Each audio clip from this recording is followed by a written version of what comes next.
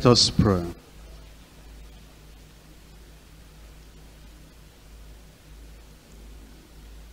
Heavenly Father, we thank you for this workers' retreat.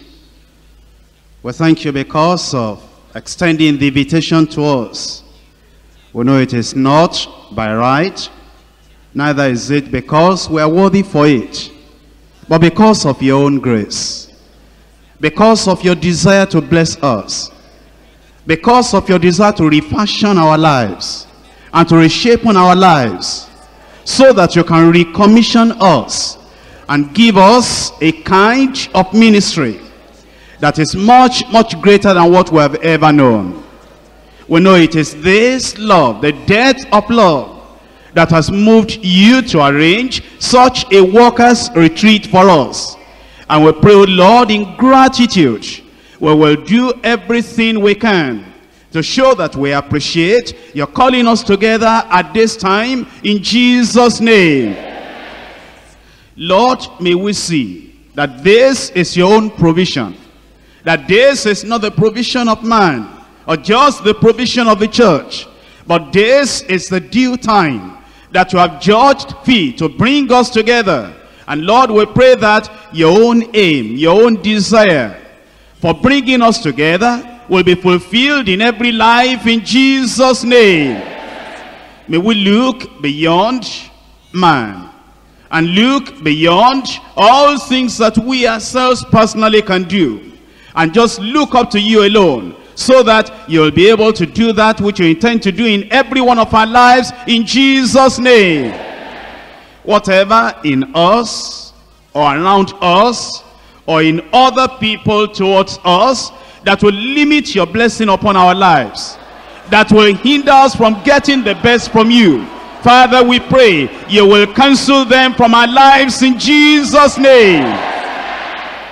Sometimes lord it's just a little thought from within us.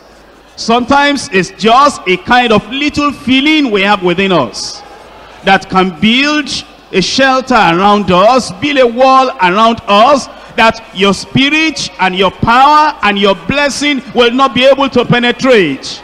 But Lord, we're looking up to you. That whatever it is within us, whatever around us, whatever in our own look, in our own attitude, in our own spirit, in our own imagination, our own desires and ambitions, will hinder or limit your blessing in our lives. Cut it off in Jesus' name.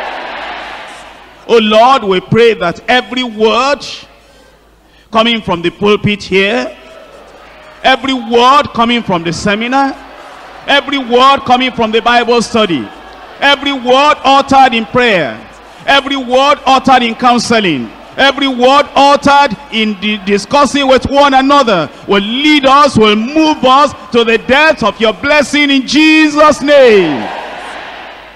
Oh Lord, we pray that as you met with Jacob at Peniel. And you solved 20 years problem. How we pray that you will meet with us here. That in the morning in the afternoon in the evening in the night wrestling with the almighty god praying and standing by the altar of the lord that lord the angel of blessing will not pass us by in jesus name.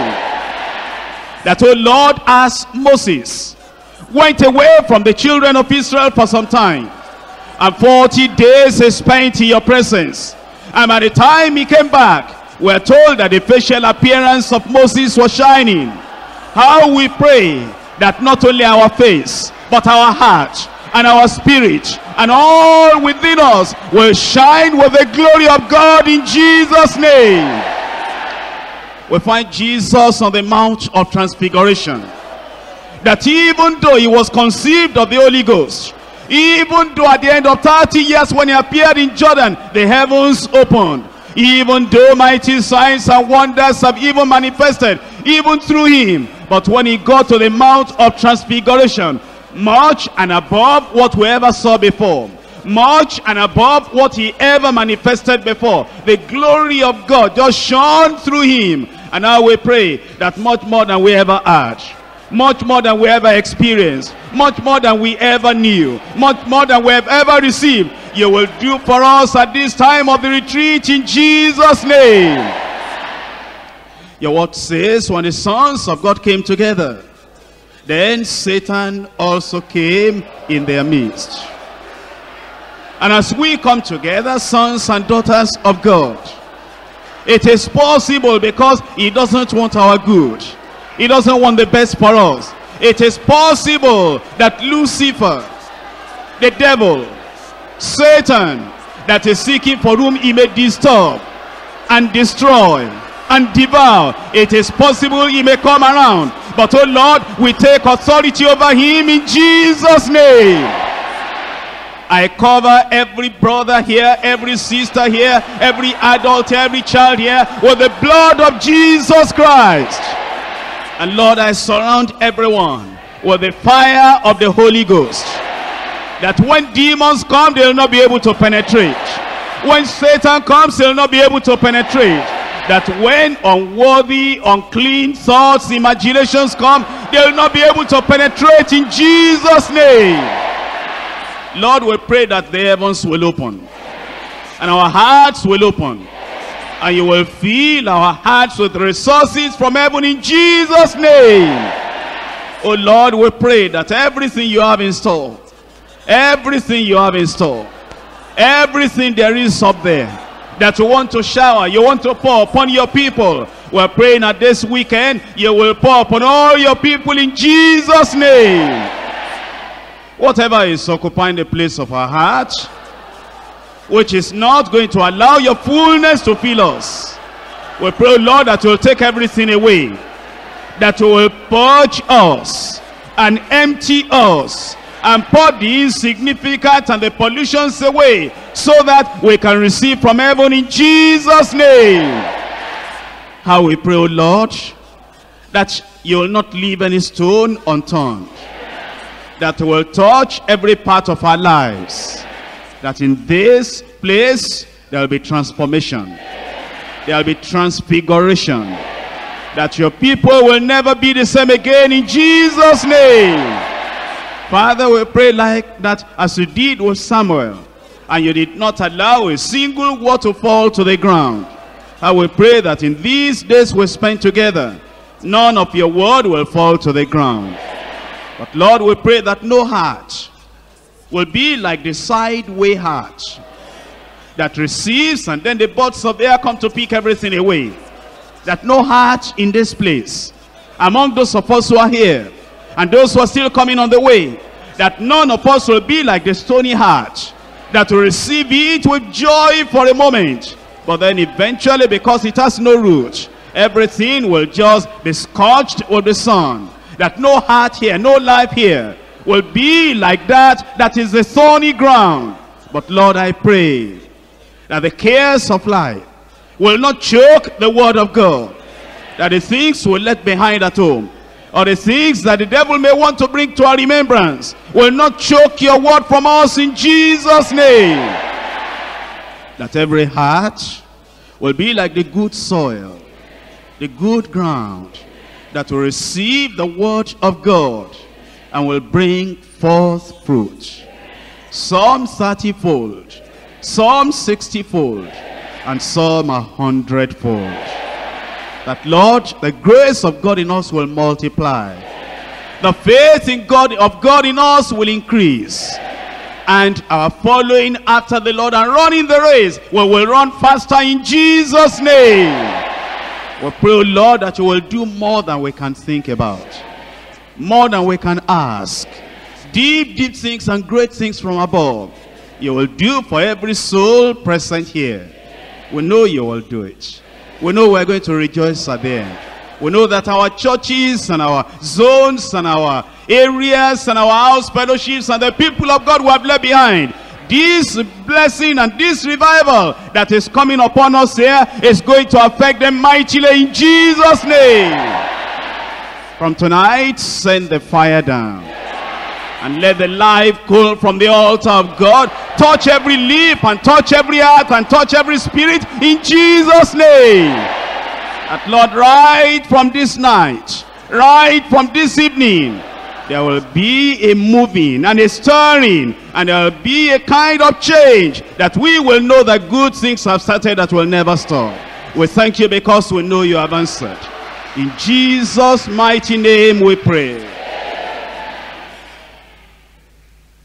In Isaiah chapter 6,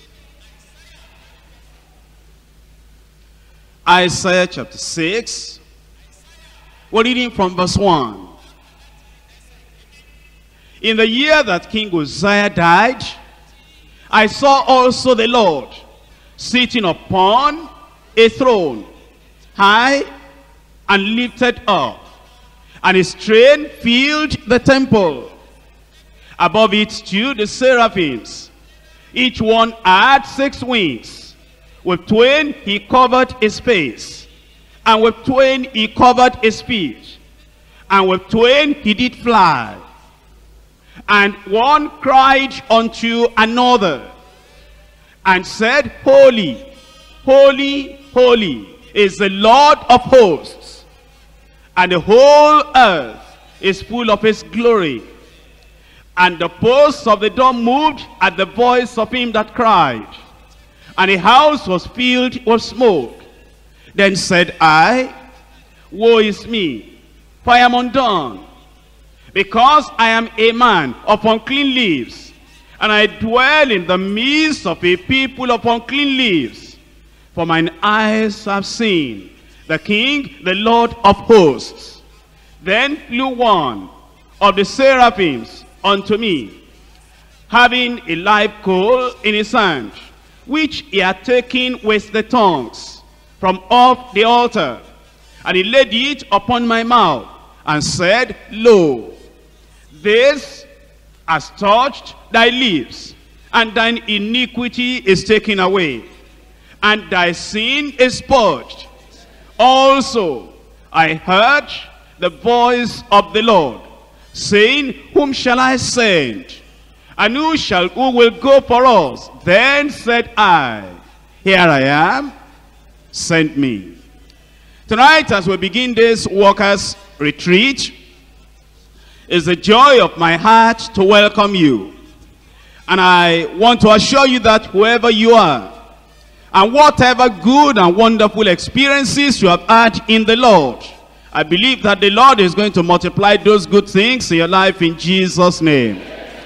And it may be that the devil has been waging war with you and has been trying to discourage you and to send you back from the path that were placed your feet by the grace of God. Never mind, the devil has always done that to the pilgrims on the way to heaven. And I believe that during this workers' retreat, he will be brought to shame. And he will be defeated on your behalf in Jesus' name. And as we begin, I want you to realize that no matter what you have gone through or what you are going through, you have come to the right place. Because we have, we have come to meet with the King of Kings himself and the Lord of Lords himself. And this beginning night is just a time to prepare ourselves so that everything the Lord has for us, he will pour upon us before we finish the workers' retreat in Jesus' name. I've read a passage to you, a passage that, that appears very simple, looking at it on, on the surface. A passage that looks very familiar, looking at it as we have read it. It is likely that those of us who are here because you are workers, it's likely you have read this before. It is likely that you have even marked some parts of this word in your own Bible because you have been following after the Lord and you have read this and you have said, I really identify with what is in there. But I believe that the Lord has something to tell us tonight. And as the Lord reveals all these things to us, I don't want you to miss anything at all. You realize that this is a special event. A special event because it is a workers' retreat. And you will see on your program that this is the sixth workers' retreat. Which means we have had five already. And this is now your turn. And for you and for me, it is a special event. And you need to take it as a special event. You will see that the passage I've read to you was a special event also. In the life of Isaiah, the prophet of God. And he took it special, and the angels of God took it special, and God took it special for him. You see, God will make of this retreat what you want him to make of the retreat. You take it as an ordinary event, and then God says, well, he calls it ordinary, so it will be ordinary for him. You call it a special event in your own life. And God says, well, he calls it special. Therefore, heaven and God and the angels will make it special in your life. It is a special event. Great things are expected. And you will see that this was the very beginning of the ministry of Isaiah. When I say beginning, if you look at all the chapters in Isaiah, you see that the chapters are more than 60. And yet, we're here in, chap in chapter 6. Only five chapters have gone. And when you look at your life, you might be thinking you have done the majority of things you need to do. But the Lord is here telling you that you have not even done a half of what you ought to do. And that this is only the beginning. And if you'll follow the Lord through the rest of the chapters of your life, great things are still expected in your life in Jesus' name. God was willing to bless Isaiah. And we need to realize that God is willing to bless us as well. Then on the part of Isaiah, there was a readiness to receive all that the Lord had for him. And on your part, you need a readiness and a willingness to receive everything the Lord has for you. If you look at the passage I've read, you might see four things. Number one, revelation. Number two, realization. Number three, revival and renewal. Number four, recommissioning. Because he had been commissioned before. He had been preaching the word of God from chapter 1. He had been having the vision of the Lord and declaring the burden of the Lord unto the people of God from chapter 1. And yet there was a recommissioning here. God bringing the commission again, saying, Who shall I send and who, who will go for us? And then he responded and he said, Here I am, send me. Let's go back to the first part, which is Revelation. It says, In the year that King Uzziah died, I saw also the Lord sitting upon a throne, high and lifted up, and his train filled the temple. Here was the revelation that Isaiah had. And I want you to look at the circumstances surrounding the revelation that he had. What were the circumstances? King Uzziah had died. Who was King Uzziah? King Uzziah was one of the kings of Judah. And this king, one time, had gone to the temple of God and had offered incense. Something he shouldn't have done. He was confronted by the priest. But then he rejected that confrontation and counsel and correction. Eventually, leprosy came upon him. He was taken out of the throne. Even though he was taken out of the throne, he was still the kind of pseudo-king. And he was still manifesting authority in the land. But then it says, King Uzziah died. The one manifesting pseudo-authority upon his life had died. You see, sometimes revelations of God will not come to us until self that is trying to occupy the throne. Until that self manifests pseudo authority upon our lives until it is taken out of the way. Your own self-will my own self-will that is sitting on the throne that is wanting to control that is wanting to guide that is wanting to dictate that the Lord has rejected and this self-will is full of spiritual leprosy self in the sight of God is dirty is corrupted is having this disease of spiritual leprosy and should not be controlling our lives as a people of God, as the children of God. And it is in the time that that self trying to control, trying to guide, and trying to have, to usurp the authority of God and of Christ in our lives, when it is taken out of the way, you begin to see revelations. Revelations of God. Revelations of his will. Revelations of the of the field that is before us. Revelations of the glory of god. And therefore during this workers retreat you need to check up and i need to check up. If there is this self that is still occupying the throne or the self-will that is still occupying the throne or the mind of man that is still occupying the throne or my own ambition, my own desire that is still occupying the throne. And you want King Uzziah that has got this leprosy as judgment from God. You want that king to die so that the real king and the true king will reign upon the throne of your heart. Only then will he begin to reveal the glory of heaven to your own soul. He said, then I saw. He must have opened the spiritual eyes to see in fact, you know, Isaiah himself tells us that there were people, and it's applied to the New Testament Pharisees. They have closed their eyes so that they will not see. And they say, no, I don't want to see that. They didn't want to see that Jesus Christ of Nazareth, that is the appointed one, the anointed one, the Messiah. They closed their eyes so that they will not see. They made themselves blind so they were blind. But then Isaiah said, voluntarily, I opened my spiritual eyes and then I saw, I saw also the Lord. He concentrated his attention on the Lord. His desires on the Lord. His ambition on the Lord. His aspiration on the Lord. I saw also the Lord. And during this time we come together, wouldn't it be a wonderful thing for you to see the Lord? To see the Lord in his grace. The grace to restore.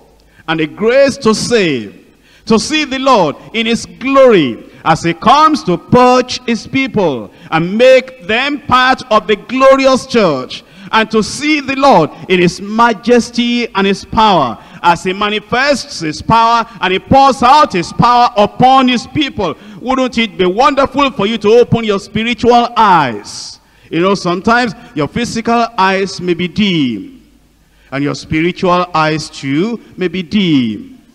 Because you see, if you're sleeping while the word of God is being preached, if you are dozing off and your eyes are dim and you can't not even open your Bible, your hands are weak, your mind is weak, your eyes are dim, and you cannot concentrate when the word of God is being preached, how are you going to hear the Lord? How are you going to see his vision? Are you going to be able to see the Lord filling the temple? It says, I saw also the Lord sitting upon a throne. Do you make any connection there? Uzziah that sat upon the throne had died. And now Isaiah opened his eyes and what did he see? He saw that even though Uzziah died, even though the pseudo-king that tried to manifest authority, a phony kind of thing, fake kind of king, a disobedient kind of king that tried to usurp the authority, he had now died. Then Isaiah said, I saw also the Lord sitting upon a throne. This time high and lifted up and his train filled the temple. Above it stood the seraphims. Above it stood the seraphims. These were the servants of God. These were the messengers of God. These seraphims were a kind of angels.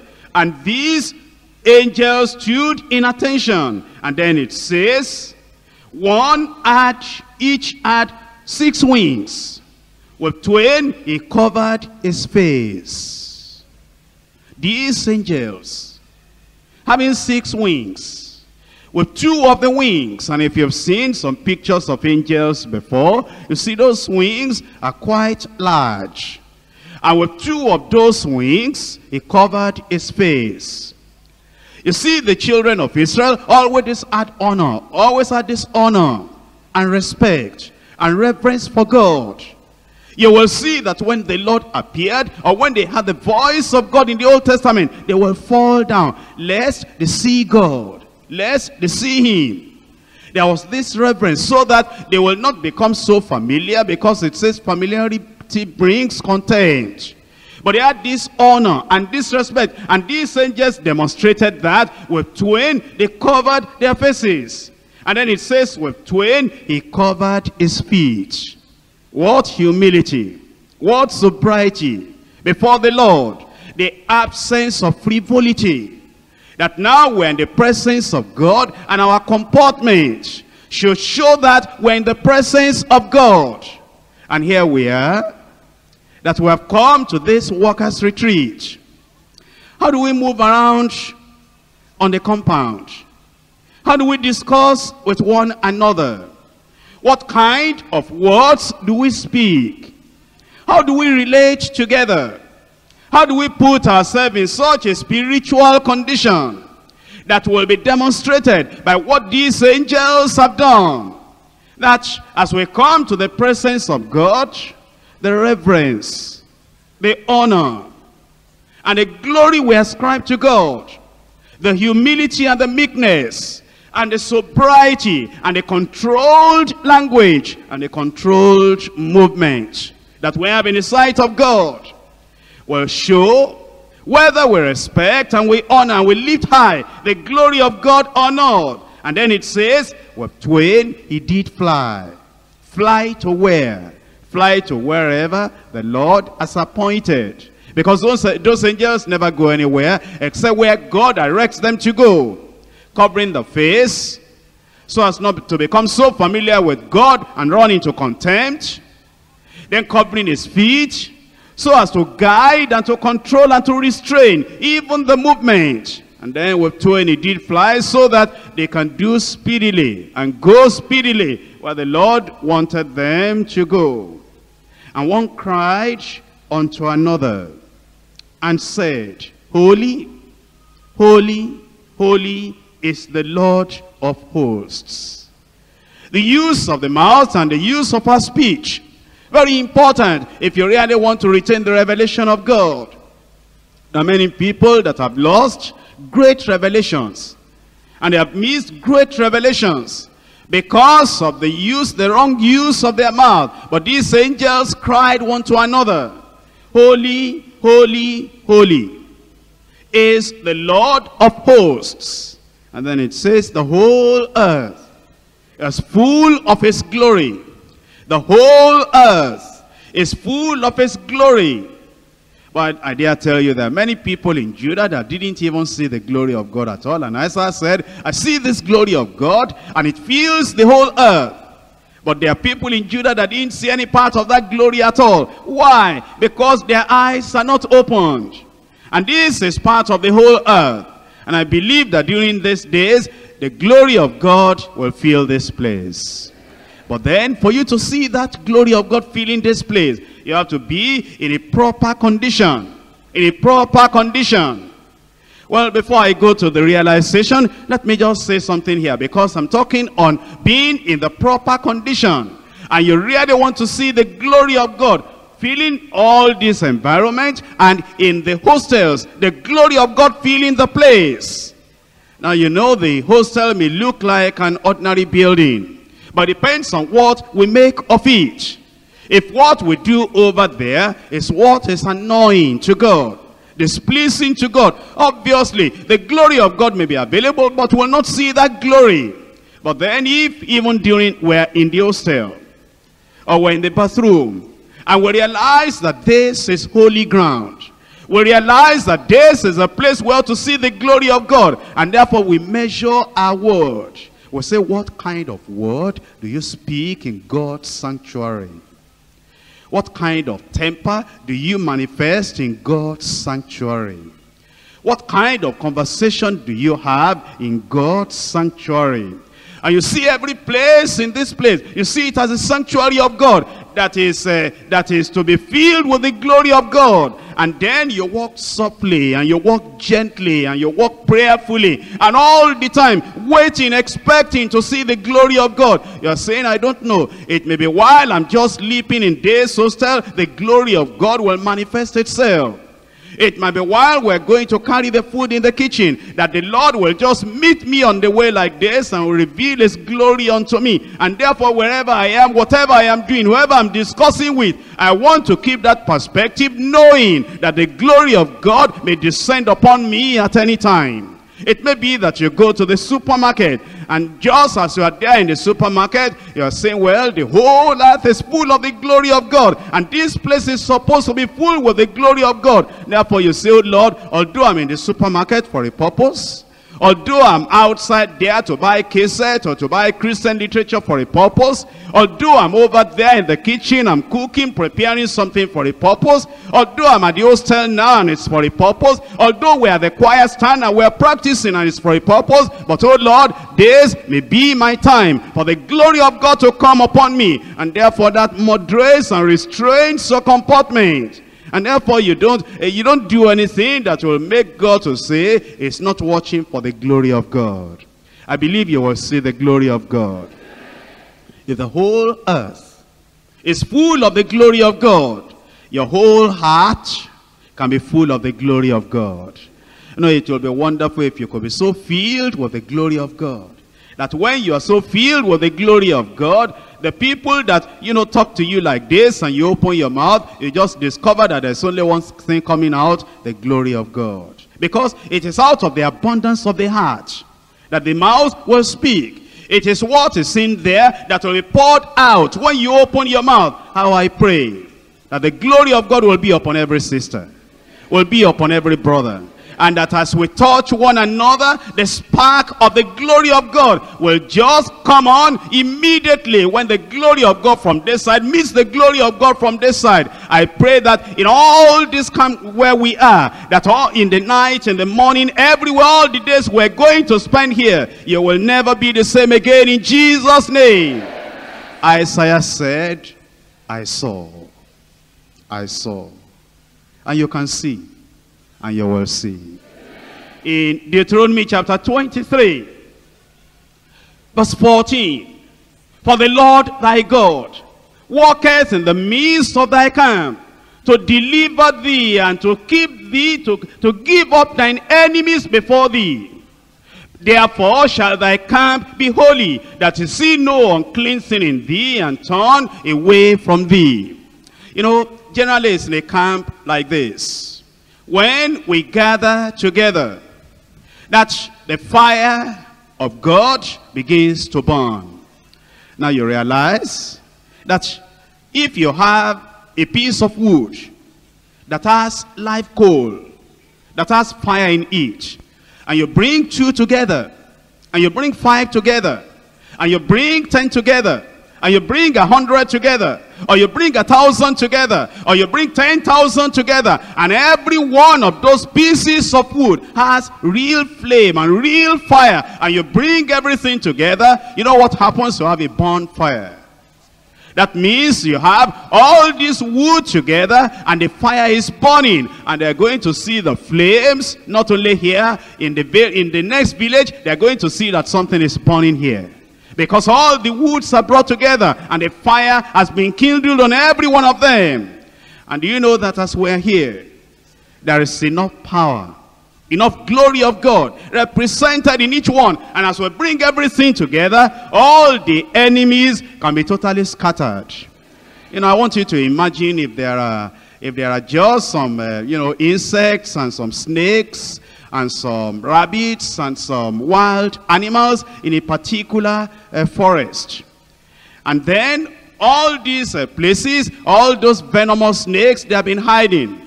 And then you put a lot of wood, you put it there. And then you put some oil on all the wood. And then you kindle fire. You don't need to uh, light 1,000 uh, pieces of match or matches. All you need is just bring the wood together and then pour the oil on the wood and light just a single stick of matches. What happens? The fire comes out in a blaze immediately. Isn't it? And then it begins to warm up and the flames and the fire and immediately what will happen? All the snakes that have been hiding around immediately they see the fire is burning they begin to run out. Nobody shouts. Nobody shoots any gun. Nobody applies any cutlass. You know what i'm telling you? That as we're all gathered here and we pour the spirit of god like oil upon you and we light you and you begin to burn. On their own the demons will fly out on their own all the scorpions and all the snakes and all the evil spirits and the familiar spirits without any kind of prayer without any kind of shouting without any kind of command everything begins to move out very quickly because they know that the fire is burning. And that is what we want at this retreat. But if that is going to be the case you know what is going to happen? Then your camp must be holy. Your camp must be holy. It is in the holiness of the camp not just in the auditorium here you see, it is you know, in the, some of the retreats we have held. I didn't have the privilege that I have now to come and start the retreat because I was always at the, at the Wednesday meeting in town. And uh, I didn't know what the other people did. I believe that they did the best they could. But sometimes when I came in those retreats, I would see some of the, you know, young people that they will just be making toilet of all these uh, places just urinating. And I wonder, is this camp holy enough to, for God to manifest himself?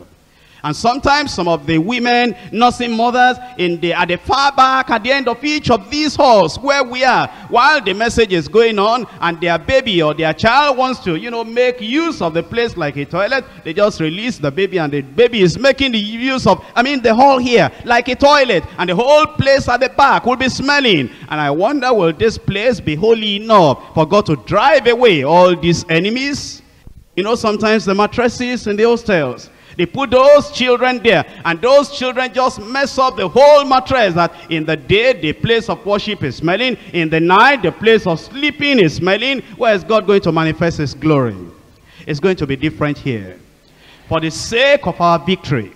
For the sake of overcoming all the enemies for the sake of lighting the fire and putting all the wood together, that the flame will begin to burn, and there will be nothing, no uncleanness, no pollution, no corruption, no evil word coming out of our mouth. And I'm telling you that the enemies are going to bow in Jesus' name. But let him see, let him see that we really mean to have this camp pure and holy. Now let's go back to Isaiah. Isaiah chapter 6.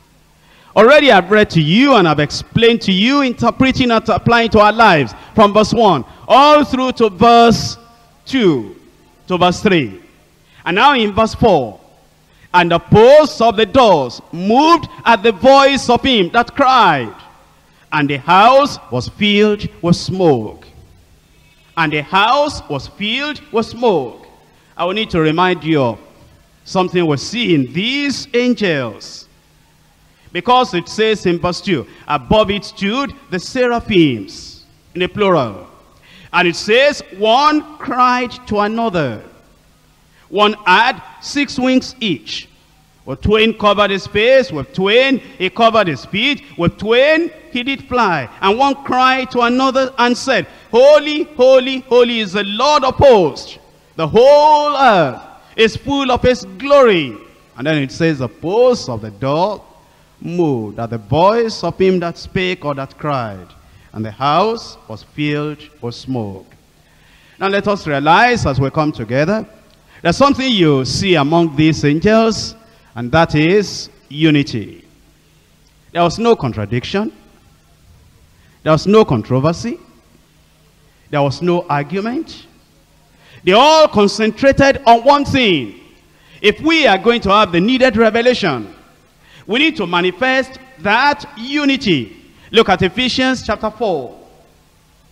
Ephesians chapter 4, verses 2 and 3. With all lowliness and meekness, with long suffering, forbearing one another in love, endeavoring to keep the unity of the Spirit in the bond of peace. You see, there are some people, they cannot live without argument. They cannot live without disagreement. And I want to tell you that argument or disagreement hinders and limits the moving of the power of God in the midst of God's people. It is when we're united together and we walk in the same direction and we say the same thing and there is such a unity that is unbreakable. We're united not, not only physically, not only outwardly, but we're united in heart. We're united in attitude. We support one another. We complement one another. It is in that unity that you'll find that the Lord will move in a mighty way. If you attend a particular seminar, and after you have attended that seminar, uh, you know, another person also attended. And after that, he began to discuss with you and say, well, I don't like the way that brother was speaking. Why didn't they give that seminar to another person? You say, but that is not unity, what you are saying. You are not united with that brother that spoke. You are not united with that sister that gave that seminar. And we need to be united, endeavoring to keep the unity of the Spirit in the bond of peace. And also we lead the Bible study and you say, I don't, you know, the way that a person led the Bible study, look at the way he pronounced this word. This is the way it should be pronounced. Isn't that a spirit of argument and disagreement and a spirit of pride?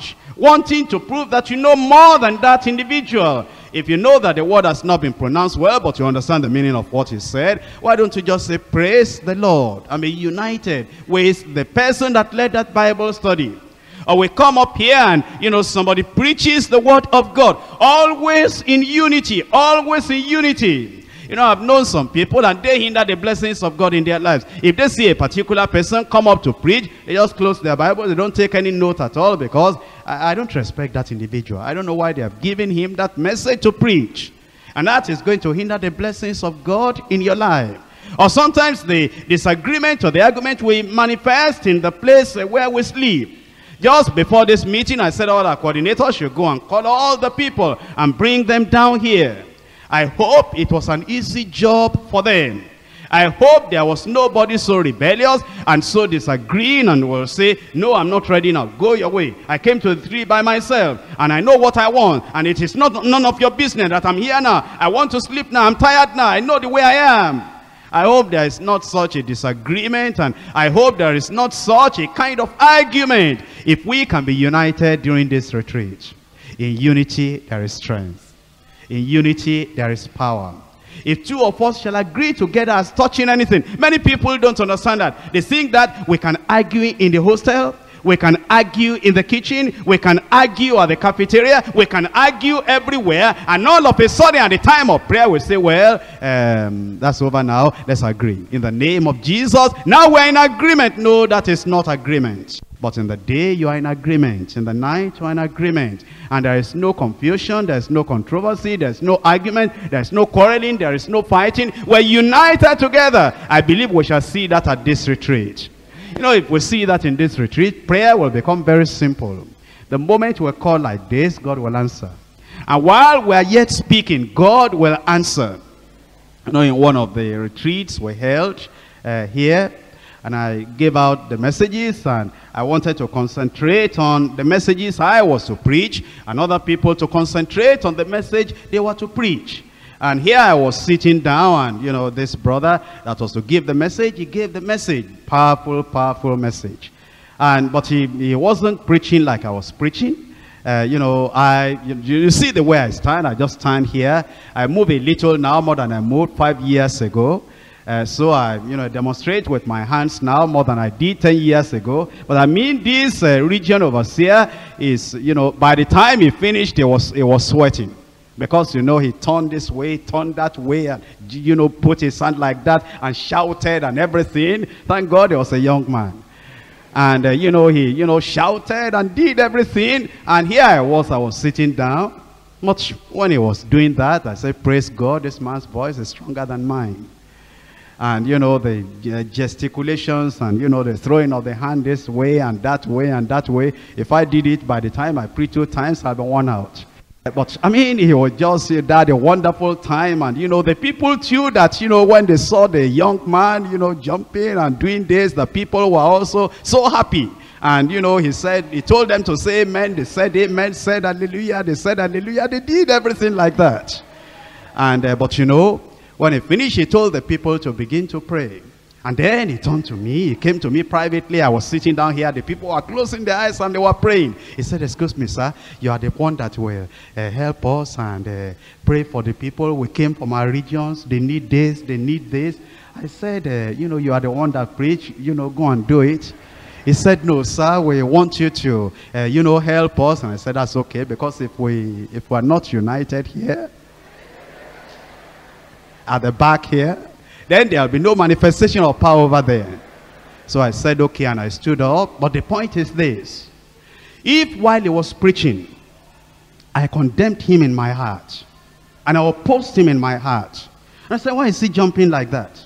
Why is he throwing his hand like that? Why is he shouting like that? Is this the way he's preaching in his region? Look at the way he's preaching. When is he going to read all the references that I would have read? If I had that disagreement in my heart, and now he turned over to me to take the meeting and to begin to pray, well, I may pray and speak some words, but they'll just be words. Because there's no unity.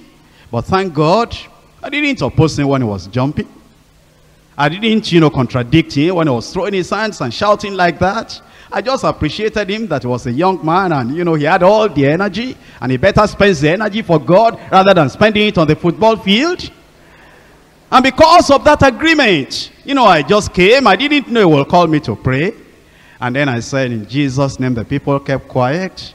And then the things I began to say, I was surprised myself. And the things that happened, I was so surprised. I said, what? And uh, you see, that's because we are united. And I hope we are united here that in the hostels will be united.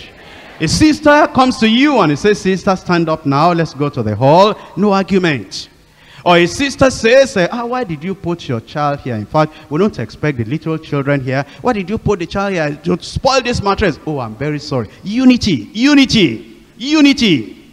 And uh, why are you going that way now? They want everybody in the hall now. I'm very pressed. I need to get to the toilet. Okay, Duke, you can come back. Unity. You see, when there is such a unity, the Lord is going to bless us in this camp in Jesus' name. So then, we keep the unity of the Spirit in the bond of peace. This is a preparation that we need to make. And we need, of course, to be obedient. Obedient, and this is all that we're talking about. Obedience is related to our unity. When we say sit down, we sit down. Stand up, we stand up. Go, we go. Come, we come. And there's that unity and that obedience. Let's look at First John chapter 2 and verse 6. First John chapter 2, verse 6. He that says he abideth in him, ought himself also so to walk, even as he walked. Even as he walked. You see, if we're walking like Jesus Christ walked, there'll be no distraction. You see, sometimes as we come here together, it is possible that a brother and a sister may be in courtship. But we don't know. We have many districts here. And so we don't know who is in courtship or who is not in courtship.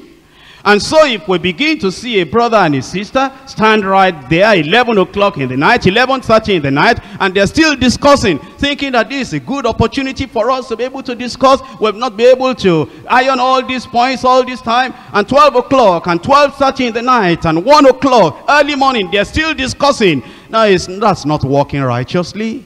We don't mean that you are, you are discussing sinful things, but the fact that you are there at such an odd moment, at such an odd time, and the fact that this is workers retreat to come and empower ourselves and to have the glory of God upon us. It is not for courtship.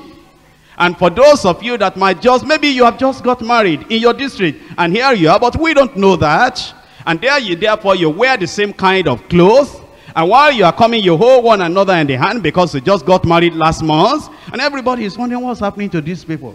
Where did these people come from? Are these people from another denomination that just went, came and they went astray? They, they don't they know what we're doing here? And then you approach them, you say, uh, from where are you? I say, what's your business in that? We have just got married. You don't want us to enjoy our marriage? Not here. Let us walk according to the word of God. Don't become a stumbling block to other people. And it will be unfortunate if, you know, husband and wife, here you are, and it's wonderful to be husband and wife. And then you go to the cafeteria there, you, you know, take Coke and you have two straws, and then you have one bottle, you are, you know, drawing it, and the wife is drawing it, and the people will look at them and say, who are these people? Have they just got married? What's the matter with them? We need to understand that in a workers retreat like this, there are things we may be doing at home that we cannot do here. So that the power of God, the glory of God will not be limited in this place. And I know it will not be limited in Jesus' name. That we will walk righteously. We will walk uprightly that, uh, you know, if you see your brother that maybe you are in courtship where you say bye-bye, you don't even allow people to know that anything is going on. You want to concentrate on what you are hearing. You want to concentrate on the word of God. And if you do that, the blessing of God is going to be unlimited. In the hostels, you'll be getting the blessing of God. In the kitchen, you'll be getting the blessing of God. Over here, you'll be getting the blessing of God. While we're singing, you'll be getting the blessing of God. And while the choir is singing to the blessing of God will just be flowing into your life. If we will cooperate with God, cooperate with God and we're not going to do anything that will hinder the moving of the Spirit of God in Hebrews chapter 10 Hebrews chapter 10 from verse 25 Hebrews 10, 25. Not forsaking the assembling of ourselves together, as the manner of some is, but exhorting one another, and so much the more as ye see the day approaching. So much the more as ye see the day approaching. You see, there are times that in, in, in the workers' retreat, we look at the attendance. And you find that in the morning, people are there. In the following message, people are there. In the following session, 1,000 people are missing. Maybe some of them at the gate. Maybe some of them in the hostel. Maybe some of them just sightseeing, just looking around. How can the blessing of God be upon us like that? Some here, some there, not united, not attending the meetings. Even if you are tired, I want you to come to the hall here. The Lord will give you strength to the word. Even if you're sick, I want you to come to the meeting hall here because it is in the hall of meeting here. While we're all together, wherever you are, the power of God will touch you. Your sickness will vanish away. You'll become healed in Jesus' name. If you are sad, if you are sorrowful, whatever your need may be, come to the hall here. That's the reason we came, not forsaking the assembling of ourselves together. All our needs will be met. It is as we combine together, unite together, worship the Lord, hear the word of God, and we do not miss any part of the meeting. It is in that way the word of God will do good in our lives. And then you walk by faith, not by sight. You see somebody that is sick in the hostel, don't say, Ah, why did you come to the retreat when you know you are sick like this? Which is better, retreat or hospital?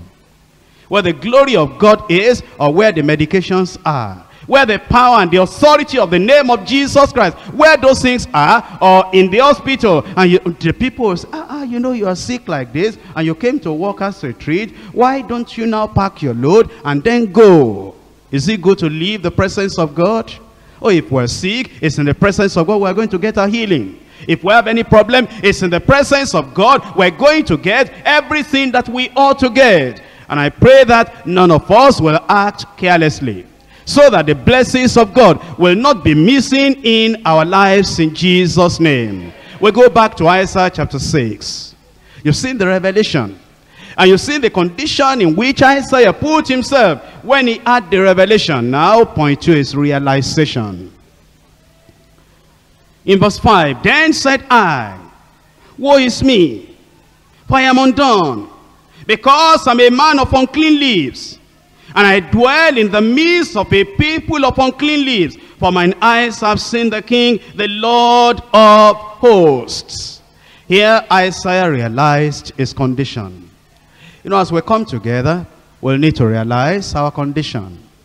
It may be that there's something lacking in your salvation experience. But realize it. Don't cover it up. Don't act as if, no, everything is okay. Let there be a realization. It may be that as you hear the word of God, you discover that you are backsliding. Realize it. Let there be a realization. It may be that as you hear the word of God, you realize that you are not sanctified. Realize it. It may be that you'll discover that your way of talking, your speech, at home, to your children, or in your community has not been of the very best. Let there be a realization. It may be that you're feeling in your own heart. The way you always interpret people's action. Whenever they say something, you interpret it this way.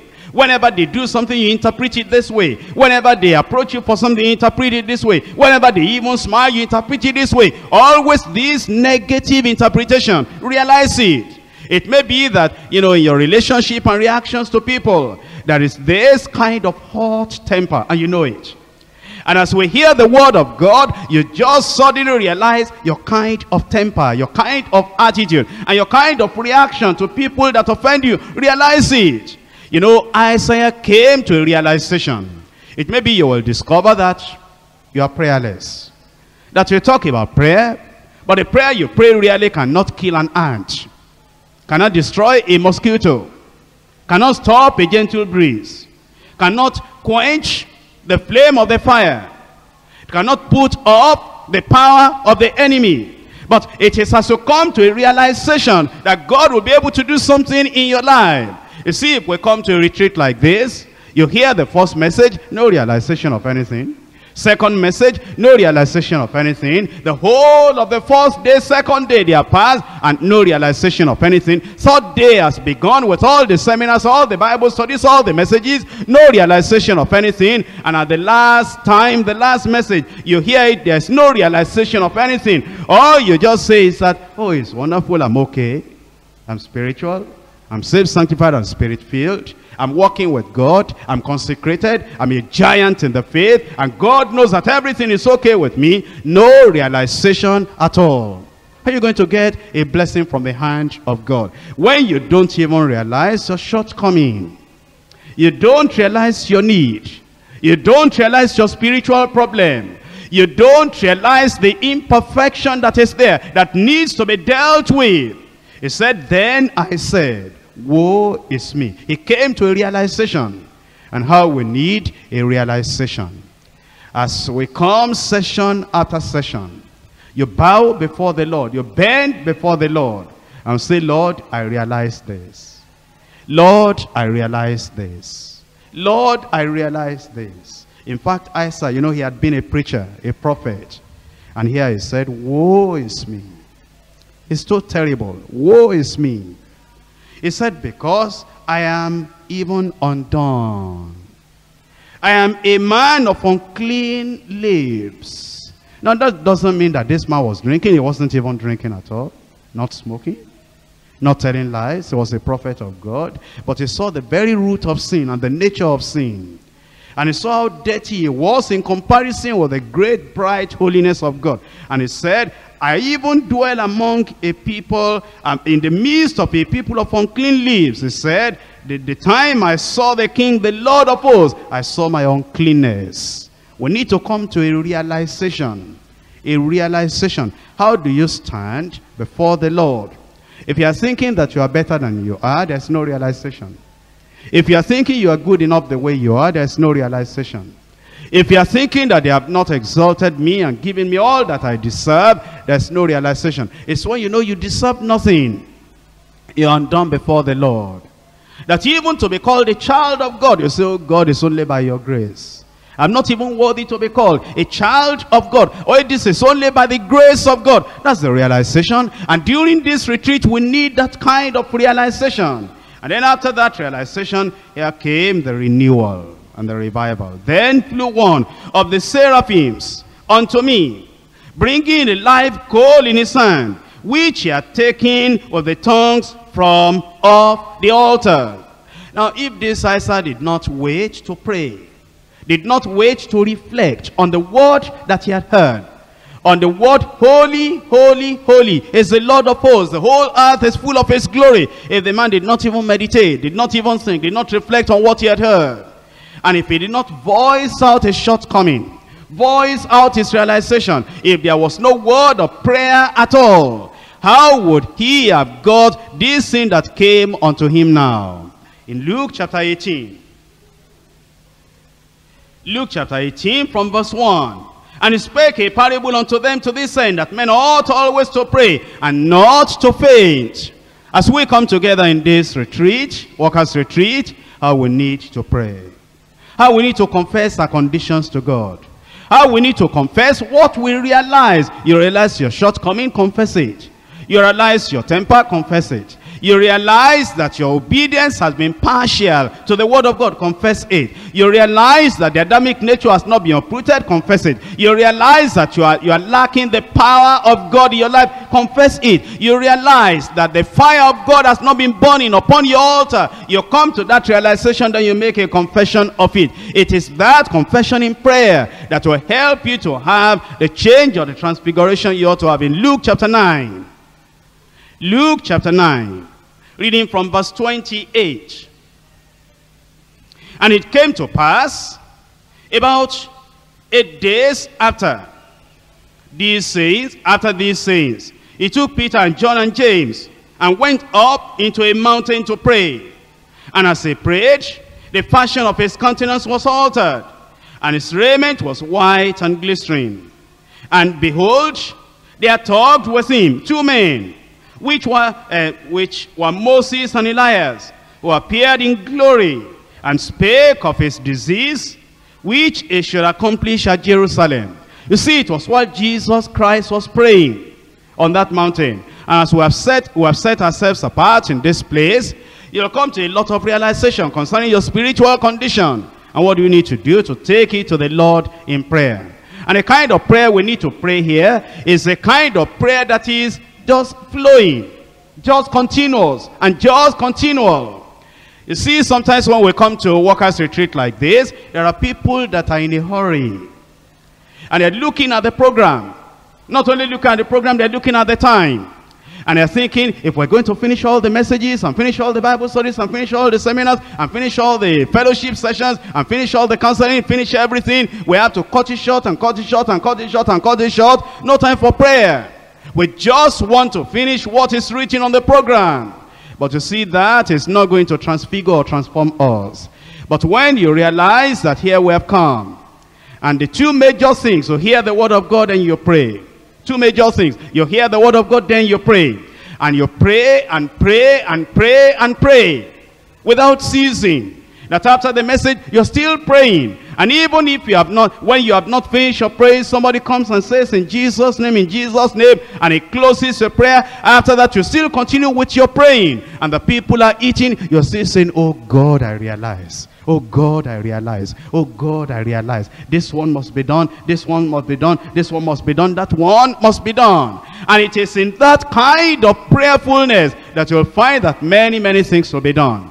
And of course, the things you are asking for will not be physical, will not be material. You will concentrate on the spiritual blessing. And as you seek first the kingdom of God and its righteousness, all the other things will be added to you according to the word of God. So then, the angel, the seraph, one of the seraphims, took the coal from the altar of God and touched his leaves. And then look at the declaration in verse 7.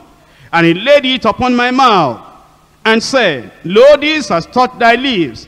Thy iniquity is taken away, thy sin purged. Theologians and Bible students will say that this is sanctification experience of Isaiah. It may be that you have not been sanctified. When the fire of God touches your heart, he will sanctify you. But then it may be you have got sanctified and you need the Holy Ghost baptism. That same fire of God can touch you and you can be baptized in the Holy Ghost.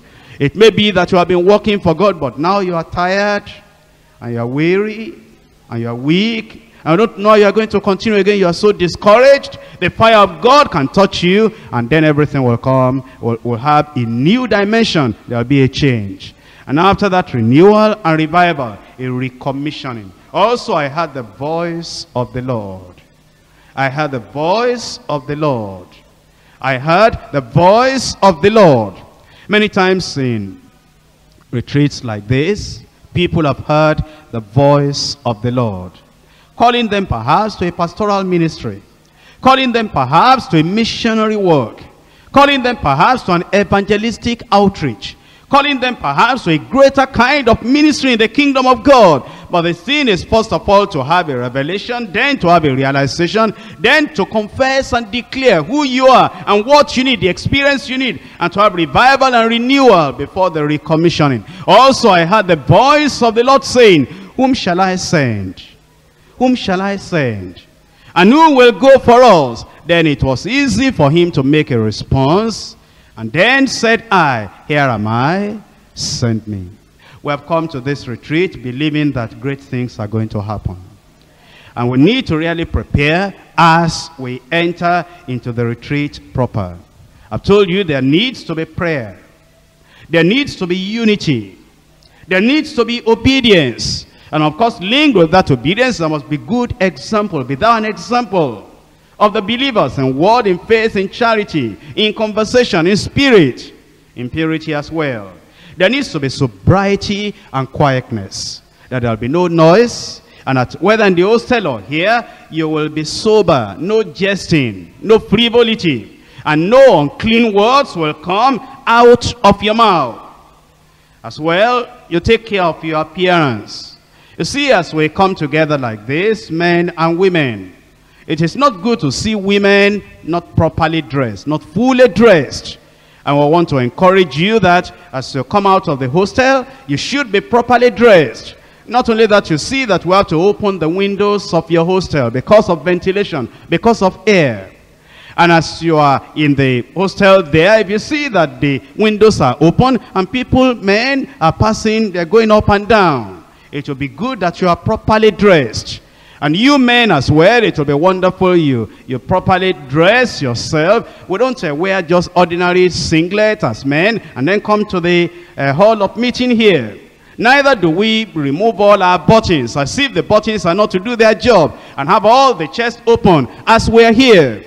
And you women, um, I don't know when I'll be able to have session for women alone. A lot of things that I need to talk about. But uh, listen to this. Just this night as we have come. And I've not moved around a lot, only a little. I see some of the women opening their heads already right here. Now what you do on the street is different, you know, what you do here.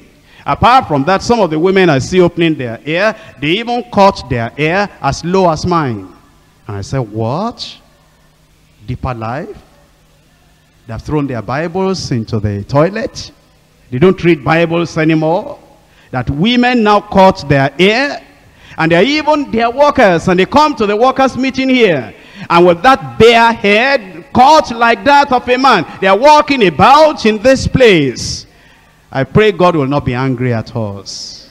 You see, the Bible says that if women have long hair, it's a glory unto them. And women are not supposed to cut their hair. That is still the word of God. Now, if you have cut your hair, it will not grow immediately now in, you know, 30 minutes uh, after this message. But what you can do is leave it uh, as it is, let it continue to grow. But while we are here, cover it up. Cover it up. Because it's even an abomination to realize that a daughter of God, daughter of Abraham, cuts her hair and is exposing that to everybody because it makes you look like men. And in First Corinthians chapter 11, the Bible says it ought not to be so. It ought not to be so. You read it yourself later from around verse 4 to verse 10 or to verse 15. And so we need to realize that we should appear in a proper way.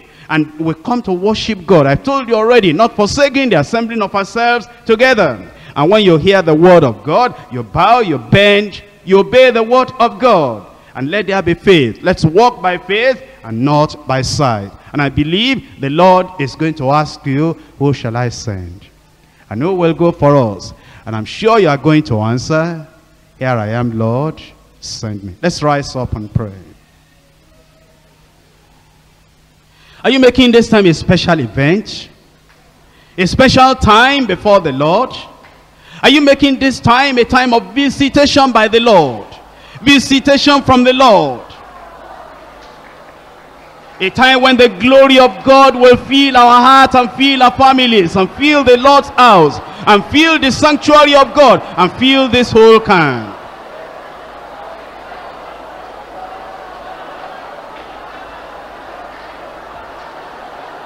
Let the live coal from the altar of God touch your heart and touch your lips and touch your spirit and touch your very being.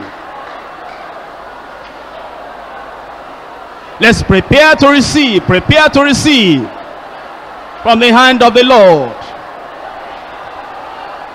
As King Uzziah died, has self been dethroned in your life? Self that is trying to usurp the authority of Christ. Have you allowed self to be dealt with? Are you committing yourself to the point that we're going to make this camp holy? No unclean word, no unclean action, and your nakedness should not be discovered, and you are properly dressed, you are fully dressed, you are well dressed in public. And you women, you will not talk and talk and talk and talk. There will be no gossip in this camp. There will be no backbiting in this camp. There will be no frivolity in this camp. There will be no jesting in this camp. And you men as well. No gossiping and no backbiting in this camp. No lust in this camp. No immorality in this camp. No evil in this camp. No pollution, no corruption. No dirt, no defilement in this camp so that the Lord can move in our midst. So that his power can break loose in our midst. There will be unity in this camp. There will be unity in the midst of the people of God. Unity with the preaching. Unity with the word of God. Unity in the seminar. Unity in the Bible study. Unity in the hostel. Unity in the auditorium. There will be unity. There will be unity. There will be love. There will be endurance. There will be forbearing. There will be forgiving of one another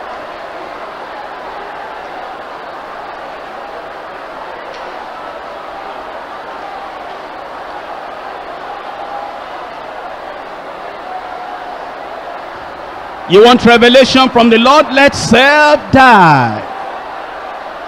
You want revelation from the Lord? Let self die.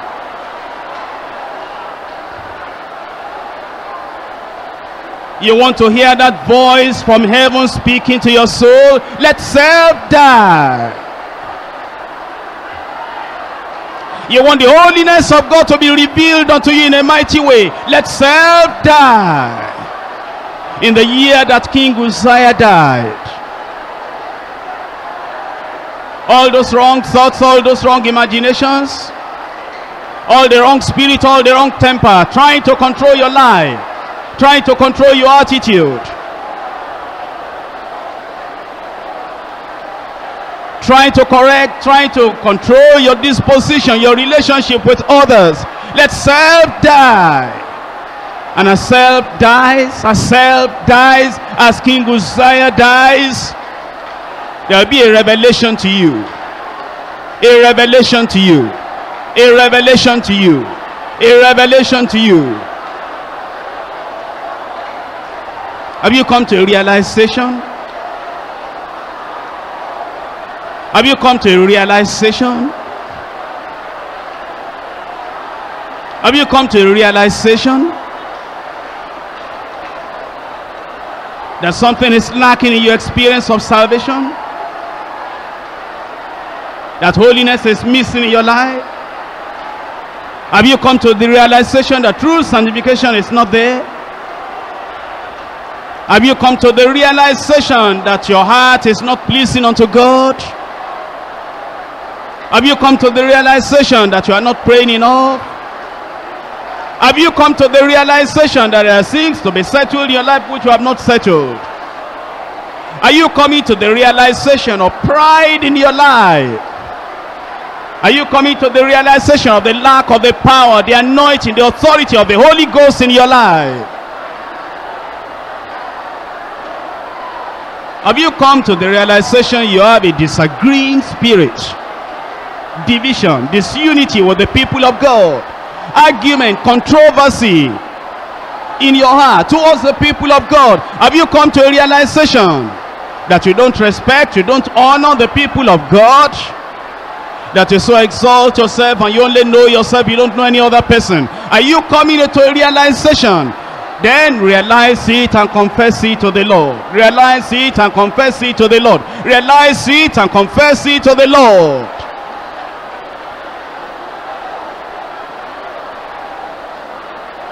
Let the coal from the altar of the Lord touch your lips and touch your heart and touch your spirit and touch your nature and burn off the Adamic nature and burn up the root of sin and burn up everything that is not according to the word according to the will of God. Let there be revival let there be renewal and then there will be a recommissioning You'll hear the voice of the Lord sing. Who shall go for us? Whom shall I send? Who will go for us? Then will you be able to answer, Here I am. Here I am. Here I am, Lord. Send me.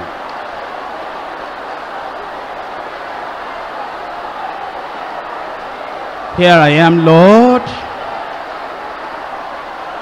Send me.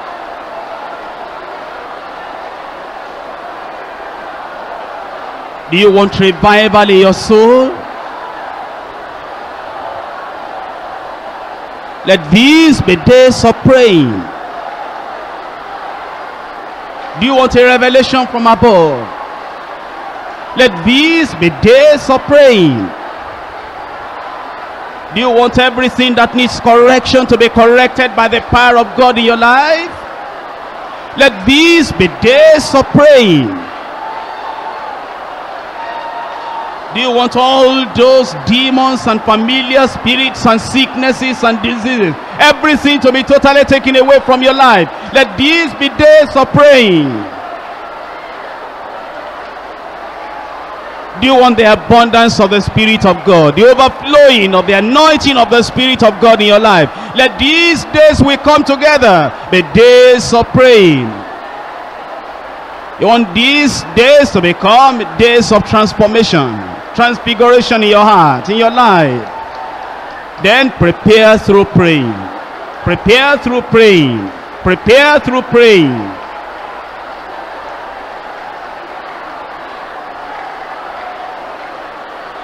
Above it all, be united with the people of God. Above it all, be united with the people of God. Above it all, be united with the people of God.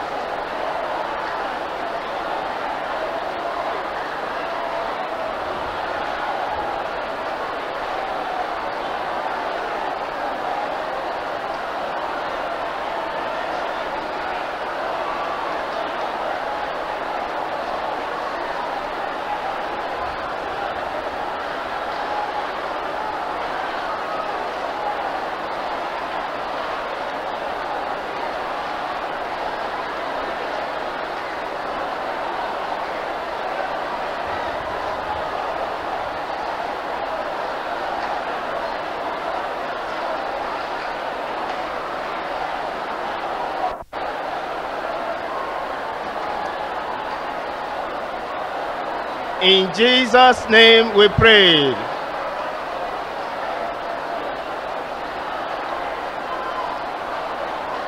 In Jesus' name we prayed.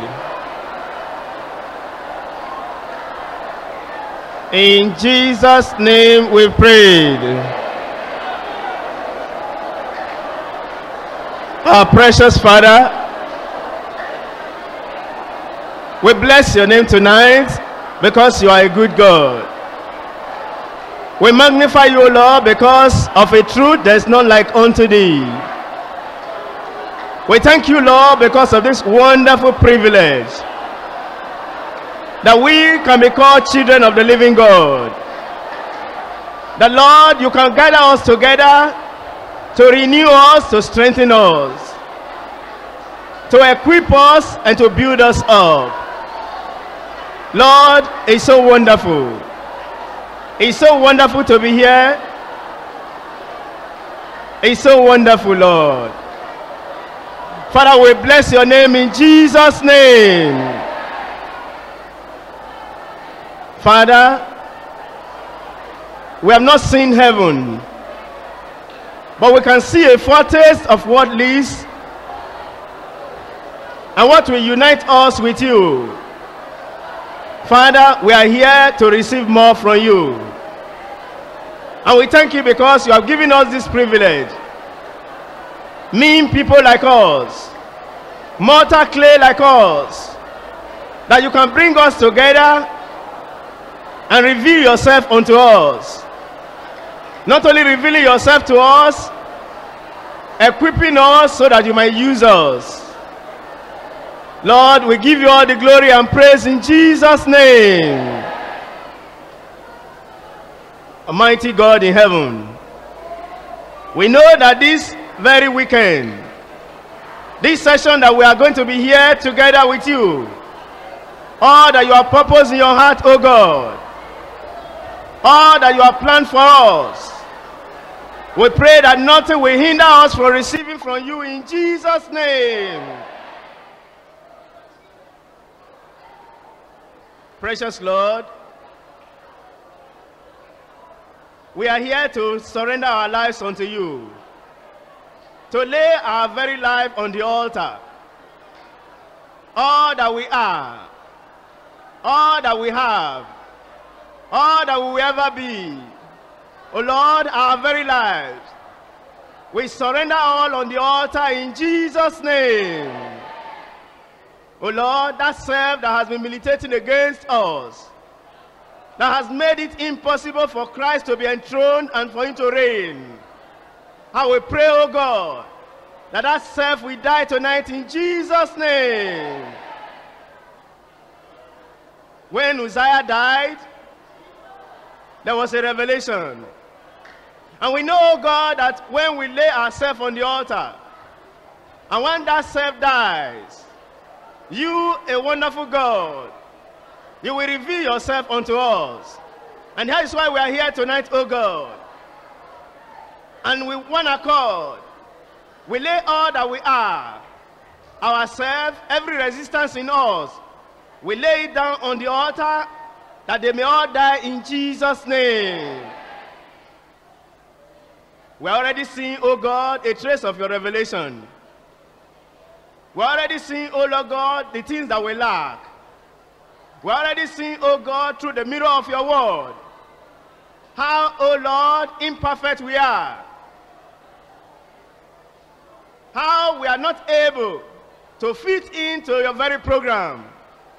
But we thank you because you have brought us here to sharpen us, to correct us. That the code, the life code from the altar of God, we touch our very heart we circumcise our heart, and we touch our tongue, and remove every blemish. Do it, O oh God, in Jesus' name. Father, you're looking up unto us to see that unity, to see that holiness and purity, to see that oneness, to see our comportment, to see how we hallow your name, to see how clean and pure our camp is, so that, Lord, your power will come tumbling down. Oh Lord, we pray that Father, you will help us that all that we have heard concerning cleanness, purity of soul, yieldedness, unity amongst ourselves, love towards one another. Father, we pray that all that we have heard, we will live by them in Jesus' name. Lord, we have no righteousness of our own. We are depending upon you. And like the branches that we are, we can do nothing, oh Lord God, outside you. And that is why we want to remain in you. That the power of God will flow through us, that we might live in Jesus' name. Father, tonight, we want you to help us that every area of our life where something is lacking, you will reveal unto us in Jesus' name. Things, Lord, that are still found in our nature, that are contrary to your way, contrary to your will, attitudes and behaviors, oh God, that are contrary to the lifestyle of a believer, of a worker. Show them to us tonight in Jesus' name. And as you show them to us, help us to turn away from them. Help us to cry unto you. Help us to pray. And to pray as never before in Jesus' name. You will be glad with us. And Lord, you will love us and you pour your mighty blessings upon us in Jesus' name. Thank you, righteous Father. Oh Lord, we are looking up unto you that even as we go to our hostels, multiplied blessings, multiplied revelations, multiplied visitation, multiplied recommissioning will take place in every one of our lives in Jesus' name. As we speak to one another, as we encourage one another, as we share with one another, oh Lord, we pray that we witness your visitation in Jesus' name. Thank you, blessed Lord. I'm so excited today because God has been so faithful to me. I'm going to keep this very short. First of all, I want to thank God for the church. The church has been my family. Um, thank you so much, Pastor Dada. He has been a father to me. I don't start crying. Okay, um, I remember I came here without um, scholarship to Howard University. The first year wasn't easy, but I got a grant that paid half of my tuition. But then from second year, I got like five different scholarships from my department, God. Third year, the same thing. And I thank God because I'll be graduating in May. I didn't have to take out a loan. I just thank God for all his provisions. I just bless the name of God.